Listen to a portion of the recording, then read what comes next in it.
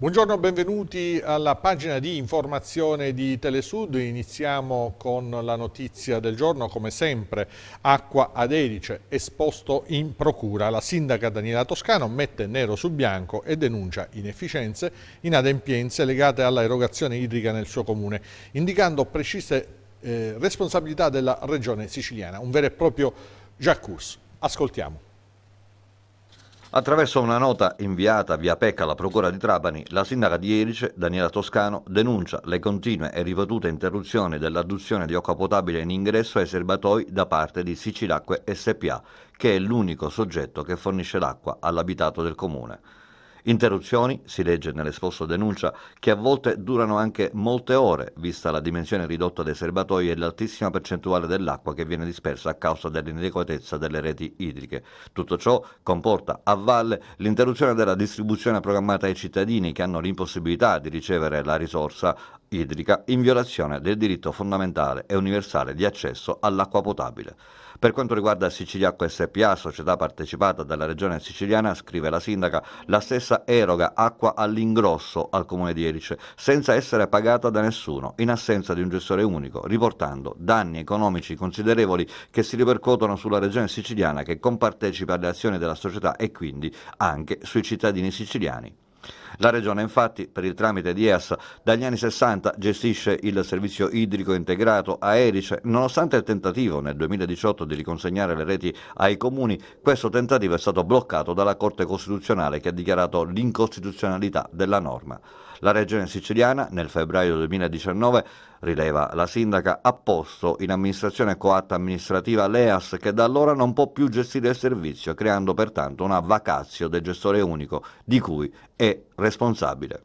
A fronte di questa situazione di vacazio, Siciliacque SPA oggi è il primo soggetto a farne le spese a livello economico, tanto che ha addirittura annunciato riduzione di portata del 72% per il comune di Erice al fine di fronteggiare l'inadempimento della regione siciliana a individuare il nuovo gestore e porre così fine all'emorragia finanziaria a cui è sottoposta questa società a causa del mancato incasso per la vendita dell'acqua d'ingrosso. È chiaro, dice la sindaca, che questa riduzione drastica del quantitativo di acqua all'ingresso nei serbatoi comunali non garantisce in alcun modo l'approvvigionamento a tutti i cittadini, poiché le reti idriche urbane attualmente registrano perdite superiori al 70%, quindi la situazione attuale, già drammatica, si aggraverebbe. Questa mancanza di risorse di Siciliacque SPA è probabilmente la causa di disfunzioni continue nell'adduzione dell'acqua del potabilizzatore e crea continue sospensioni del servizio che limitano fortemente la distribuzione di acqua potabile ai cittadini. È da registrare infine come da oltre un anno e mezzo l'acqua in arrivo dai serbatoi arriva spesso torbida e di colore marrone e così viene distribuita nelle case dei cittadini arrecando gravissimi problemi in ordine al suo utilizzo. In particolare i cittadini disagiati spesso non possono comprare acqua dalle autobotti private, non possono costantemente pulire le cisterne dai residui terrosi rilasciati dall'acqua erogata, soffrendo gravissimi disagi e sostenendo spese non indifferenti. Gli unici controlli sulla potabilità delle acque vengono effettuati dal Comune, dall'ASP e da Siciliacque, mancando il gestore unico deputato per legge al controllo di cui al decreto legislativo del 31 eh, 2001 per palese inerzia, scrive la Toscano, della regione siciliana. Di tale situazione paradossale è responsabile la regione siciliana che non ha ottemperato a quanto disposto dalla sentenza del TAR Sicilia.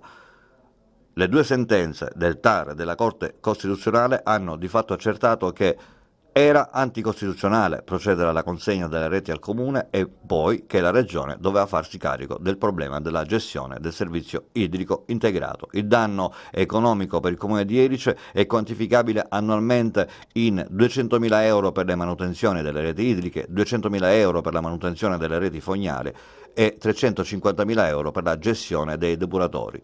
L'importo di circa 750.000 euro, si legge nell'esposto denuncia, viene speso annualmente dal Comune di Erice da 10 anni al fine di non interrompere il servizio pubblico senza alcun ritorno da parte della tariffa.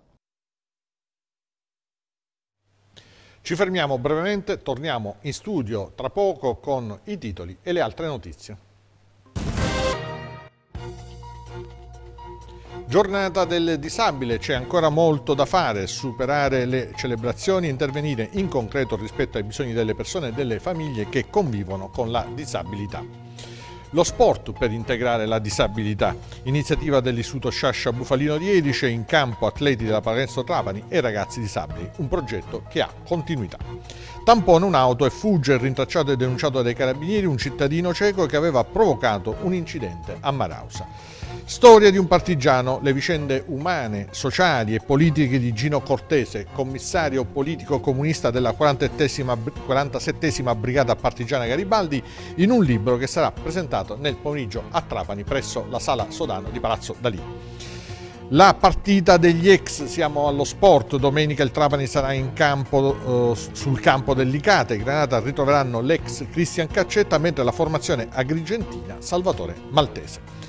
L'approfondimento, circolari schizofreniche e incongruenti sull'assistenza igienico-personale ai bambini disabili a Trapani giungono dalla regione indicazioni tra loro in contrasto. Lo sostiene il sindaco Giacomo Tranchina, Tranchida che chiede chiarezza. Nell'approfondimento potrete ascoltare le sue dichiarazioni e valutazioni sulla questione. Oggi, come avete sentito dai titoli, è la giornata della disabilità, un ambito in cui c'è ancora tanto da fare sul fronte delle cure, dell'assistenza sociale, dei percorsi educativi e delle troppe barriere architettoniche nelle nostre città. Il servizio. Quanto pesa il tema della disabilità nella gestione delle città, delle comunità dei lavoratori, nella scuola? Molto in termini di discussione e confronto, ancora poco in termini di risultati e interventi concreti, a cominciare dall'evidenza delle barriere architettoniche. Alcune difficili da abbattere oggettivamente, anche per la conformazione di molti edifici, soprattutto nei centri storici, con palazzi pubblici e privati che hanno secoli di storia. Rimane tuttavia il tema centrale, i servizi servizi sono spesso inaccessibili ai disabili, quando invece dovrebbero esserlo sempre e in fruizione autonoma da parte degli stessi disabili. Il sistema di cure, sebbene presente, è molto affannato per la carenza di personale e risorse economiche, lo sostiene in una nota Leonardo Lapiana, segretario generale CISL Palermo Trapani, che rileva come la nostra società non è ancora realmente inclusiva. Mancano interventi strutturali per la prevenzione, la riabilitazione, la cura e il dopo di noi, tema quest'ultimo estremamente trascurato alle nostre latitudini, dove le famiglie devono farsi quasi totalmente carico del congiunto con disabilità, non trovando sollievo e servizi a disposizione. Le recenti vicende attorno al tema della disabilità che vedono al centro di una querella il comune di Trapani, la regione siciliana e le famiglie di bambini con disabilità che frequentano le scuole elementari e medie la dice lunga. Eppure, ricorda ancora il sindacalista Lapiana, la scuola, ad oggi unico presidio che offre in maniera strutturata un servizio ai ragazzi e alle famiglie, deve fare ricorso a un'alternanza di docenti di sostegno che seppur specializzati non sono inseriti nell'organico in maniera stabile per offrire offrire un servizio continuativo. Ancora una volta la vicenda degli Asacom a Palermo e degli assistenti igienico-personali a Trapani sono casi esemplificativi della fragilità della rete di supporto alle famiglie con persone disabili, cui spesso manca il supporto e che si devono confrontare non solo con la difficile gestione del congiunto, ma con mille cavilli burocratici e la lunghezza dei tempi di risposta. Rimaniamo in argomento, quarta tappa del progetto Road to the Top dell'Istituto di Istruzione Secondaria Superiore Sciascia Bufalino di Edice. Le attività in collaborazione con la Parlamento Trapani sono state organizzate proprio oggi in occasione della giornata internazionale dell'inclusione. Il servizio di Federico Tarantino.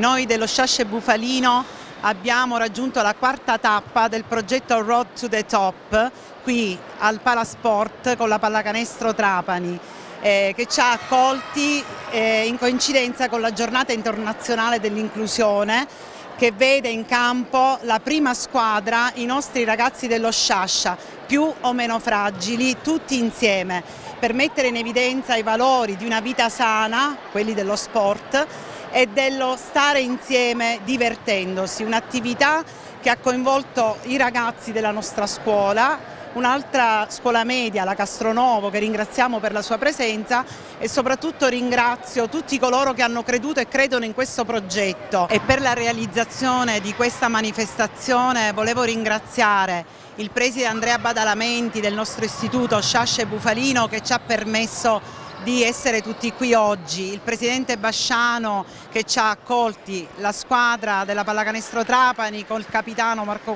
Mollura e tutti coloro che ci hanno creduto e la coach Enza. Giovani impegnati nell'inclusione con uh, ragazzi disabili presenti in campo, che emozione è vedere questi ragazzi giocare in campo?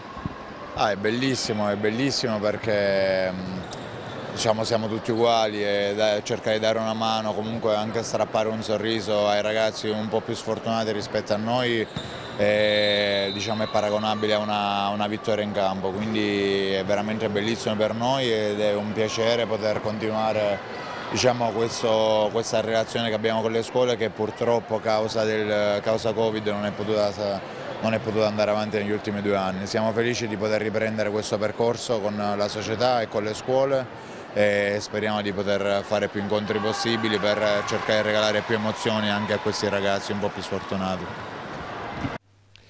Cambiamo argomento per riprendere la questione della, della disabilità, eh, ma dal punto di vista amministrativo-burocratico nell'approfondimento e, e, parliamo di trasporto aereo, in particolare dei disagi aerei. Nel mese di novembre scorso 2250 passeggeri siciliani hanno eh, dovuto eh, denunciare dei disagi nel, nei viaggi aerei. Bene l'aeroporto di Trapani Birgi, il report è di una società specializzata, il servizio.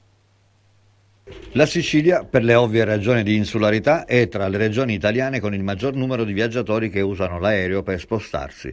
Nel mese di novembre scorso 2.250 passeggeri hanno denunciato disservizi per voli cancellati o in ritardo superiore alle tre ore, circostanza quest'ultima in base alla quale, grazie all'applicazione del regolamento dell'Unione Europea 261 del 2004, ad ogni singolo passeggero spetta la compensazione di 250 euro. I disagi riscontrati sono in massima parte sette ritardi, solo un volo è stato cancellato in Sicilia per cause riconducibili alle compagnie aeree. Si tratta in particolare del volo Palermo-Milano-Linate dello scorso 18 novembre dell'Ita Airways per un probabile guasto. I ritardi fanno la parte del leone delle contestazioni alle compagnie aeree che operano negli scali siciliani. Oltre 56 ore infatti sono state accumulate di ritardo nel solo mese di novembre negli aeroporti siciliani, ritardi quasi equamente divisi per gli scali di Palermo e Catania. Sono le low cost che hanno i maggiori ritardi, superando per le tratte siciliane le 40 ore complessive. Positivo invece il report per gli aeroporti di Trapani, Comiso, Pantelleria e Lampedusa, che nel mese di novembre non hanno riscontrato particolari disagi per i passeggeri. I dati sono stati rilevati dalla società trapanese Italia Rimborso, specializzata nell'assistenza ai passeggeri che subiscono disagi appunto nei viaggi aerei. Pausa per noi, ci fermiamo, torniamo in studio con altre notizie di cronaca, politica e cultura. Tampona un'auto e fugge, rintracciato e denunciato dai carabinieri un cittadino di nazionalità ceca che aveva provocato un incidente a Marausa. Storia di un partigiano, le vicende umane, sociali e politiche di Gino Cortese, commissario comunista della 47 Brigata Partigiana Garibaldi, in un libro che sarà presentato nel pomeriggio a Trapani. La partita degli ex domenica il Trapani Calcio sarà sul campo del Licate, i Granata ritroveranno l'ex Cristian Caccetta, mentre la formazione agrigentina Salvatore Maltese. Tampona una automobile e scappa, rintracciato dai carabinieri, è stato denunciato. È accaduto ieri a Marausa, il servizio. I carabinieri di Napola sono intervenuti nella frazione di Marausa a seguito di un incidente stradale in cui il conducente di un'auto con targa straniera, dopo aver violentemente tamponato un altro mezzo, è fuggito. A chiedere l'intervento una coppia di anziani coniugi coinvolti nel sinistro che hanno fornito ai carabinieri i dettagli sull'incidente e la targa anteriore dell'auto che li aveva poco prima tamponati, persa a seguito della collisione. I militari, assicurate le cure alle vittime, che se la sono trovata con qualche giorno di prognosi e tanta paura, si sono messi sulle tracce del fuggitivo. Le ricerche hanno impegnato tutte le pattuglie in circuito sul territorio. In poco tempo l'auto dell'investitore è stata rintracciata nel territorio di Paceco. Il conducente, un uomo di 41 anni, originario della Repubblica Ceca, è stato sottoposto a controllo, visto l'incidente di cui si era reso responsabile poco prima. Il cittadino ceco però ha rifiutato l'accertamento con etilometro, per cui i militari hanno applicato il massimo della sanzione. L'uomo inoltre è stato denunciato anche per fuga ed omissione di soccorso a persone ferite in incidente stradale. È stato convalidato dal giudice per le indagini preliminari del Tribunale di Marsala il fermo di un cittadino tunisino arrestato qualche giorno fa dalla Guardia di Finanza per favoreggiamento dell'immigrazione clandestina. Il servizio. L'attività della Guardia di Finanza fa riferimento ad un intervento di una motovedetta che il 23 novembre scorso è stata dirottata a Pantelleria su un target sospetto avvistato alla rete radar costiera monitorata dalla sala operativa del reparto operativo aeronavale di Palermo. La motovedetta ha intercettato un gommone guidato da un cittadino tunisino che si stava allontanando dall'isola a luci spente in direzione della Tunisia. A bordo sono state ritrovate numerose taniche di benzina, generi alimentari, bottiglie d'acqua vuote, giubbotti di salvataggio e indumenti vari, segni evidenti che il natante era stato utilizzato per il trasporto di persone. A terra, intanto, i finanzieri di Pantelleria hanno rintracciato 15 cittadini tunisini, evidentemente appena sbarcati sull'isola. I successivi accertamenti di polizia giudiziaria hanno permesso di acquisire e documentare gravi indizi di colpevolezza a carico dello scafista tunisino, il cui arresto è stato convalidato dal GIP di Marsala. E sempre in relazione a questo sbarco di Pantelleri, i carabinieri hanno arrestato due cittadini tunisini appunto erano sbarcati pochi giorni addietro sull'isola di Pantelleria e l'arresto è avvenuto presso il centro di permanenza, permanenza, per rimpatri di Contrada Milo. Uno dei due, appena diciottenne, era gravato da un decreto di espulsione messo dal prefetto di Trapani nell'ottobre del 2020, mentre il suo connazionale 24enne è risultato destinatario di un decreto di espulsione emesso dal prefetto di Ragusa nel 2018. Entrambi saranno espulsi. La politica e il PD di Trapani ha organizzato un incontro dal titolo Rigenerazione urbana, idee per una città più vivibile, il servizio. Ieri sera presso la sede provinciale del Partito Democratico in corso per Santi Mattarella Trapani si è tenuto il secondo degli incontri tematici del direttivo del Circolo. L'incontro è stato dedicato allo sviluppo del territorio in un'ottica di sostenibilità e tenendo conto della struttura e della storia della città di Trapani. L'assessore Dario Safina ha illustrato le principali tappe del percorso intrapreso dall'attuale amministrazione, percorso mirato alla rigenerazione urbana ed alla riappropriazione dei luoghi più significativi della città da parte dei trapanesi. La relazione di Safina ha preso le mosse dai progetti in corso di realizzazione e dai finanziamenti ottenuti relativi alla mobilità, per poi toccare le diverse realizzazioni che vanno dal recupero del campanile di San Domenico e della Casina delle Palme a quello di Torre di Ligny. Ad ogni recupero è associata una idea di concreta gestione, senza la quale le risorse impiegate si tramuterebbero nello stato di abbandono di beni di rilievo storico-artistico ed in spreco di risorse pubbliche. Safina ha anche fatto il punto sulle esigenze di ogni quartiere di Trapani, riferendosi ai tanti piccoli e grandi problemi che vanno dalla manutenzione ordinaria alle reti fognarie, dalla vivibilità alla microcriminalità.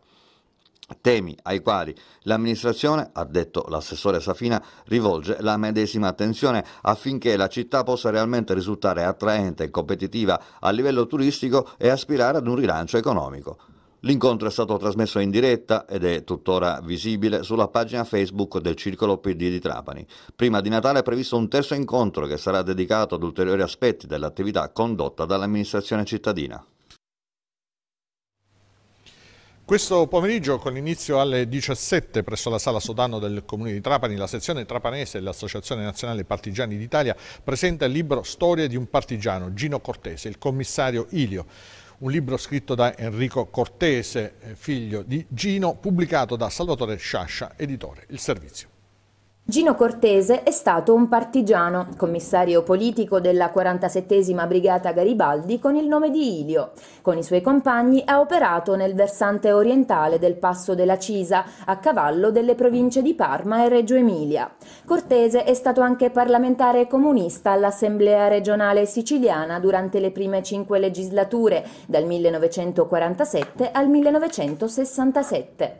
L'impegno politico e antifascista di Gino Cortese è cominciato negli anni 30, quando ancora studente liceale entrò in una cellula clandestina del PCI, dove incontra fra gli altri il suo maestro, Pompeo Colaianni, e il futuro procuratore della Repubblica, Gaetano Costa. Di questo suo impegno politico giovanile aveva già scritto Leonardo Sciascia in Le parrocchie di Regalpetra. Enrico Cortese, figlio di Gino, con questo libro ripercorre la storia del commissario Ilio lungo la storia siciliana e italiana della fase centrale del secolo scorso Egli narra la vicenda della 47esima vista dal di dentro, anche attraverso testi scritti da testimoni o costruiti sulla base di testimonianze. Terminato il conflitto, Gino Cortese torna in Sicilia e si mette all'opera per la ricostruzione della federazione del PCI. Il contesto è quello di una terra immiserita dalle distruzioni e dalla fame, dall'annoso problema dell'assegnazione delle terre incolte e dell'applicazione dei decreti gullosegni. Anni in cui alla lotta per l'occupazione delle terre polizia, carabinieri ed esercito si oppongono con le armi e con gli arresti. Il parlamentare Luigi Cortese viene arrestato e liberato dopo più di un anno. Segue la scelta del milazzismo, che susciterà tanto dibattito all'interno del PC e del suo gruppo parlamentare. Il libro mostra la figura di Gino Cortese quale egli fu, un combattente colto e generoso, attento ai bisogni della popolazione, la lotta al fascismo vista non solo come cacciata del nemico invasore, ma come lotta per una società più giusta e democratica. Nuovo appuntamento con il cartellone degli Amici della Musica di Trapani per la sezione crossover oggi pomeriggio con inizio alle 18.30 al Museo Arte, di Arte Contemporanea a San Rocco. Ad andare in scena sarà Albert Dürer, Genio e Inquietudine, conferenza concerto sulla personalità e l'opera di Dürer, l'artista considerato il massimo esponente della pittura tedesca rinascimentale. La regia è di Betty Losciuto, ad intervistare sarà ehm, Don eh, Liborio Palmeri, mentre le musiche rinascimentali saranno eseguite da Eduardo Eghez. La Federazione Italiana Agenti Immobiliari Professionali, sede provinciale di Trapani, ha visto in queste ore rinnovare i propri vertici per il quadriennio 22-25. I consiglieri del nuovo direttivo sono stati eletti in presenza del presidente regionale eh, FIAIAP, eh, Carmelo Ma Mazzeppi. Scusate. Il neopresidente eletto è Vito Campo e con lui eh, ci saranno Carmen Di Puma, vicepresidente, e Francesco Minaudo, segretario tesoriere. Manfredi Muscolino consiglieri. Il direttivo verrà completato nelle prossime settimane con una nuova assemblea provinciale. E siamo giunti agli appuntamenti su Telesud questa sera alle 20.30 in replica alle 22 e ancora a mezzanotte e mezzo per sipario, tutto quanto fa spettacolo, Nicola Gugliaro presenta la seconda parte del recital del pianista Costantino Catena Après una lecture du Dante di Franz Liszt. In programma la raccolta di Liszt dal titolo Venezia e Napoli. Ancora la nostra programmazione, alle 21 e alle 23 torna Res Pubblica, Sicilia chiama Europa, nella prima parte in studio con il direttore Nicola Baldarotta, l'onorevole Sergio Tancredi di Attiva Sicilia, nella seconda parte ospite la scrittrice trapanese Alessia Piemonte. Ed ora il meteo. Lo sport con la partita degli ex, domenica il Trapani Calcio sarà sul campo del Licata. I Granata ritroveranno l'ex Cristian Caccetta, mentre la formazione agrigentina Salvatore Maltese, capitano fino alla scorsa stagione dei gialloblu. Il servizio è di Federico Tarantino. Licata Trapani rappresenta a gara della conferma per i Granata, reduci dalla vittoria contro il San Luca dopo il cambio allenatore avvenuto nella scorsa settimana. I trapanesi infatti in campionato non hanno mai vinto due gare di fila consecutivamente. La sfida tra le siciliane, che si affrontano domenica, sarà anche la partita degli ex. Salvatore Maltese, fresco del primo gol con la maglia del Trapani, ritornerà in quel di Licata, dove ha giocato fino alla scorsa stagione e per cinque anni, ricoprendo anche i gradi di capitano. Altro ex della partita è Cristian Caccetta, oggi allicata e ingranata fino al 2013-2014 con la prima promozione in Serie B della storia del club Siculo. A lui è anche legato il ricordo di San Siro, con il gol all'Inter in una notte entrata nella storia dello sport trapanese. Come si fa a dimenticarla? Sì, sì, sì, ancora ogni tanto, ogni tanto mi passano quelle immagini per la, per la mente e c'ho un ricordo ancora nitido, proprio tutto nella testa ed è, ed è, bellissimo veramente. Anche noi, tra l'altro, adesso ti stiamo vedendo nell'abbraccio con Simone Basso e, e dai, eh. che, bello, che belle emozioni, davvero eh, meravigliose. Sì. Adesso però dobbiamo veramente. parlare di altre emozioni, Cristian, perché la tua realtà adesso è allicata. Sì, sì, sì, è partita questa nuova avventura, diciamo che è stata una ho preso una decisione un po', un po così, eh, un po' controvoglia all'inizio, devo essere sincero, perché volevo aspettare qualcosina di diverso, però purtroppo la mia stagione scorsa non è stata, non è stata delle migliori, un infortunio mi ha, mi ha limitato diciamo, nel, nel, nel, nella prestazione e quindi è andato un po' così. E adesso invece sono molto felice perché si sta vivendo una, una situazione molto, molto carina stiamo facendo anche abbastanza bene sono, sono soddisfatto de, diciamo, della scelta che, che, che ho fatto.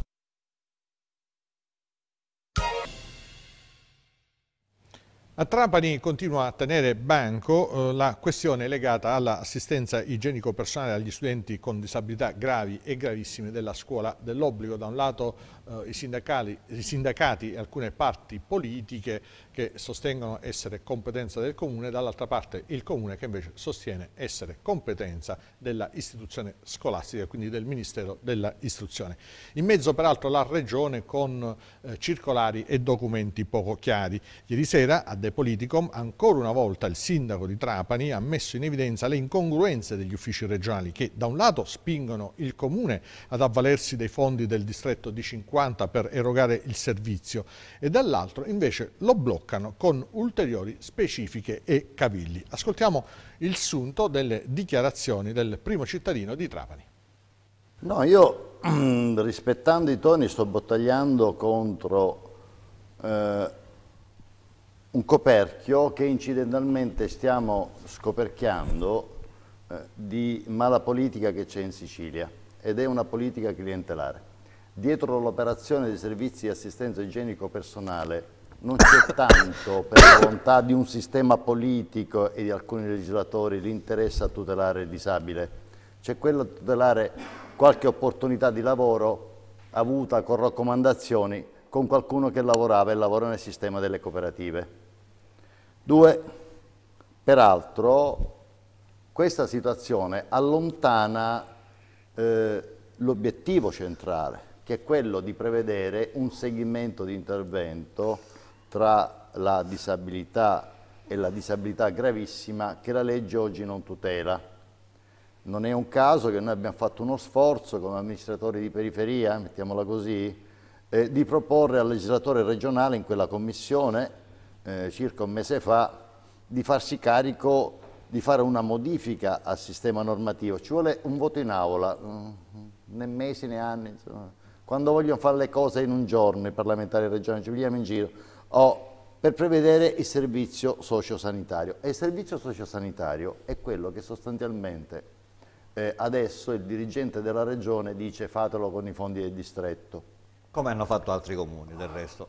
Fatelo con i fondi del distretto, lo dice lui la sera, mentre la mattina continuano ad arrivare le lettere dei suoi impiegati, dei suoi subalterni, che dicono non si possono utilizzare i fondi del distretto di 50. Dopo di ciò il discorso qual è? La regione non può dire no, non puoi fare i, i servizi eh, non possiamo inserire somme nel distretto sociosanitario perché non si possono fare interventi eh, che sono di competenza del personale ATA. Non puoi occuparti di prevenzione della tossicodipendenza e fare sensibilizzazione perché è compito dell'ASP. Questa è l'ultima lettera che ci è arrivata dalla Regione con i fondi del distretto. Non puoi fare eh, supporto educativo scolastico con i fondi di distretto a scuola perché è competenza delle, delle, della, della, scuola. E allora la finiscono, il direttore generale come si chiama Greco, eh, l'assessore come si chiama Scavone, bene, io sono un modesto ragioniere, non ho altre qualifiche particolari, sono contento che ci sia la possibilità di un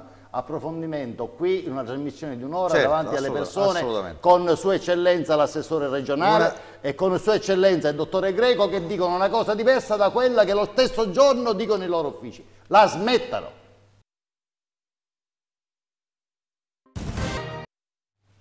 Seconda edizione del nostro TG Sud, apertura dedicata alla giornata eh, internazionale della inclusione. La disabilità è un ambito in cui c'è ancora tanto da fare sul fronte delle cure, dell'assistenza sociale, dei percorsi educativi e delle troppe barriere architettoniche nelle nostre città. Il servizio sta per partire.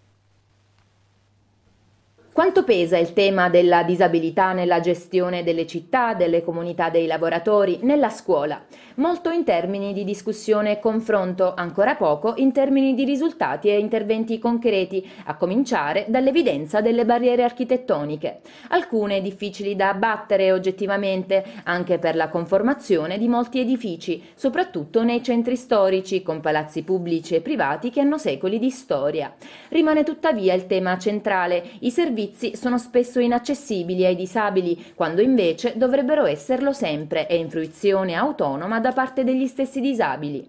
Il sistema di cure, sebbene presente, è molto affannato per la carenza di personale e risorse economiche. Lo sostiene in una nota Leonardo Lapiana, segretario generale CISL Palermo Trapani, che rileva come la nostra società non è ancora realmente inclusiva.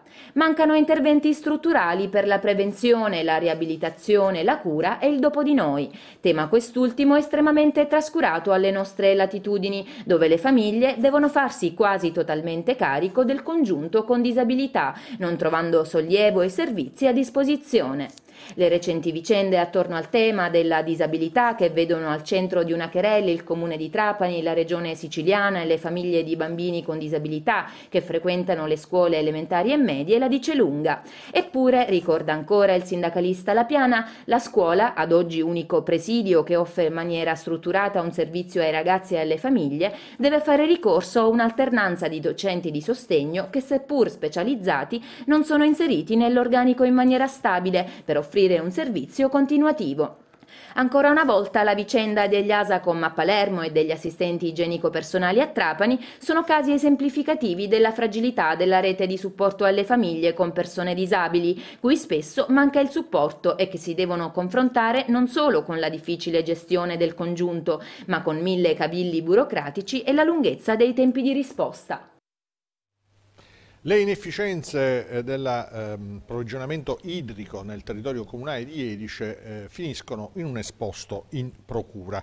Lo ha scritto mettendo nero su bianco la sindaca Daniela Toscano che ha denunciato inadempienze legate proprio all'erogazione idrica nel suo comune indicando anche precise responsabilità da parte della regione siciliana che non ha ancora individuato, nonostante siano passati tanti anni, un gestore idrico. Io vi lascio a questo servizio eh, molto dettagliato di Nicola Baldarotta su questo esposto che fa capire un po' qual è la situazione ad Erice qual è il quadro eh, di fronte al quale si trovano non solo il Comune di Erice ma anche molte altre amministrazioni comunali del territorio trapanese che erano in passato servite dall'EAS. Attraverso una nota inviata via PEC alla Procura di Trapani, la sindaca di Erice, Daniela Toscano, denuncia le continue e ripetute interruzioni dell'adduzione di acqua potabile in ingresso ai serbatoi da parte di Sicilacque SPA, che è l'unico soggetto che fornisce l'acqua all'abitato del comune. Interruzioni, si legge nell'esposto denuncia, che a volte durano anche molte ore, vista la dimensione ridotta dei serbatoi e l'altissima percentuale dell'acqua che viene dispersa a causa dell'inadeguatezza delle reti idriche. Tutto ciò comporta a valle l'interruzione della distribuzione programmata ai cittadini che hanno l'impossibilità di ricevere la risorsa idrica in violazione del diritto fondamentale e universale di accesso all'acqua potabile. Per quanto riguarda Siciliacqua SPA, società partecipata dalla regione siciliana, scrive la sindaca, la stessa eroga acqua all'ingrosso al comune di Erice, senza essere pagata da nessuno, in assenza di un gestore unico, riportando danni economici considerevoli che si ripercuotono sulla regione siciliana che compartecipa alle azioni della società e quindi anche sui cittadini siciliani. La Regione infatti, per il tramite di EAS, dagli anni 60 gestisce il servizio idrico integrato a Erice. Nonostante il tentativo nel 2018 di riconsegnare le reti ai comuni, questo tentativo è stato bloccato dalla Corte Costituzionale che ha dichiarato l'incostituzionalità della norma. La Regione siciliana, nel febbraio 2019, rileva la sindaca, ha posto in amministrazione coatta amministrativa l'EAS che da allora non può più gestire il servizio, creando pertanto una vacazio del gestore unico di cui è responsabile. A fronte di questa situazione di vacazio, Siciliacqua SPA oggi è il primo soggetto a farne le spese a livello economico, tanto che ha addirittura annunciato riduzione di portata del 72% per il comune di Erice al fine di fronteggiare l'inadempimento della regione siciliana a individuare il nuovo gestore e porre così fine all'emorragia finanziaria a cui è sottoposta questa società a causa del mancato incasso per la vendita dell'acqua d'ingrosso. È chiaro, dice la sindaca, che questa riduzione drastica del quantitativo di acqua all'ingresso nei serbatoi comunali non garantisce in alcun modo l'approvvigionamento a tutti i cittadini, poiché le reti idriche urbane attualmente registrano perdite superiori al 70%, quindi la situazione attuale, già drammatica, si aggraverebbe. Questa mancanza di risorse di Siciliacque SPA è probabilmente la causa di disfunzioni continue nell'adduzione dell'acqua del potabilizzatore e crea continue sospensioni del servizio che limitano fortemente la distribuzione di acqua potabile ai cittadini. È da registrare infine come da oltre un anno e mezzo l'acqua in arrivo dai serbatoi arriva spesso torbida e di colore marrone e così viene distribuita nelle case dei cittadini arrecando gravissimi problemi in ordine al suo utilizzo. In particolare i cittadini disagiati spesso non possono comprare acqua dalle autobotti private, non possono costantemente pulire le cisterne dai residui terrosi rilasciati dall'acqua erogata, soffrendo gravissimi disagi e sostenendo spese non indifferenti. Gli unici controlli sulla potabilità delle acque vengono effettuati dal Comune, dall'ASP e da Siciliacque, mancando il gestore unico deputato per legge al controllo di cui al decreto legislativo del 31 eh, 2001 per palese inerzia, scrive la Toscano, della regione siciliana. Di tale situazione paradossale è responsabile la regione siciliana che non ha ottemperato a quanto disposto dalla sentenza del TAR Sicilia. Le due sentenze del TAR e della Corte Costituzionale hanno di fatto accertato che era anticostituzionale procedere alla consegna delle reti al Comune e poi che la Regione doveva farsi carico del problema della gestione del servizio idrico integrato. Il danno economico per il Comune di Erice è quantificabile annualmente in 200.000 euro per le manutenzioni delle reti idriche, 200.000 euro per la manutenzione delle reti fognali e 350.000 euro per la gestione dei depuratori. L'importo di circa 750.000 euro, si legge nell'esposto denuncia, viene speso annualmente dal Comune di Erice da 10 anni al fine di non interrompere il servizio pubblico senza alcun ritorno da parte della tariffa.